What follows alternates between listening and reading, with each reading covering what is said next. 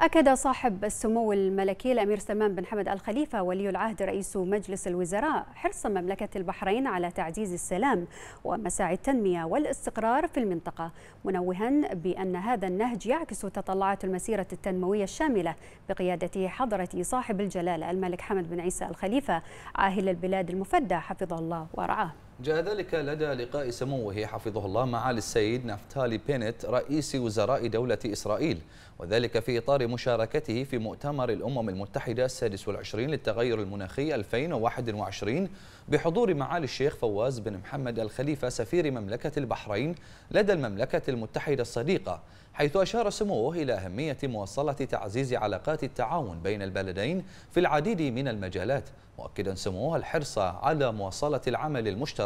بين البلدين وتعزيز مجالات التعاون في ضوء توقيع إعلان تأييد السلام واتفاق مبادئ إبراهيم بما يسهم في تحقيق المصالح المشتركة والتطلعات المنشودة ويفتح آفاقا أرحب لنمو وتطور العلاقات الثنائية ويعود بالخير والنماء على البلدين. وخلال اللقاء تم استعراض الموضوعات ذات الاهتمام المشترك ومجالات التعاون بين البلدين وأهمية الحفاظ على البيئة وتعزيز استخدامات الطاقة النظيفة.